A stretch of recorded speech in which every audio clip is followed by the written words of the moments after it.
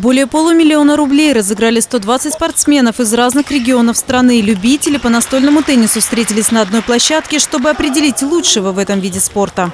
понятие статус любителя, да, это человек, который, профессиональная деятельность которого не связана с настольным теннисом, а для которого настольный теннис является хобби, средством ре- самореализации. Это действительно люди самозабвенно любящие наш вид спорта и все свободное время уделяющие настольному теннису.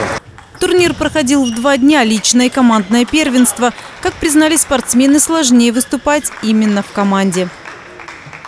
Нужно следить не только за собой, а и за своими друзьями, смотреть, как они сами играют.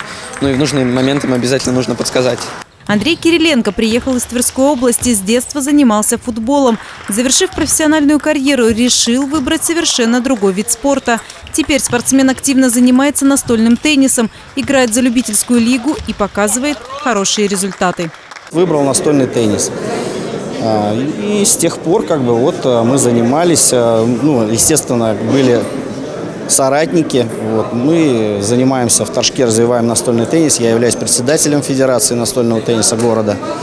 Вот. Ну, сейчас наш город как бы на лидирующих позициях в Тверской области. Мы чемпионы области в команде. И у наш игрок Рахманов Виктор, который а, тоже представляет сейчас на данных соревнованиях нашу команду, а, является чемпионом Тверской области, многократным уже 4 года подряд, наш воспитанник. На площадке любителей, но страсти кипят не меньше, чем у профессионалов. Для каждого участника настольный теннис – это увлечение, которым они занимаются в свободное от работы время, но, несмотря на это, добились определенных высот. По итогам турнира победу одержал брянский спортсмен Артем Кривоноженков. Мария Шматкова, телекомпания «Одинцова».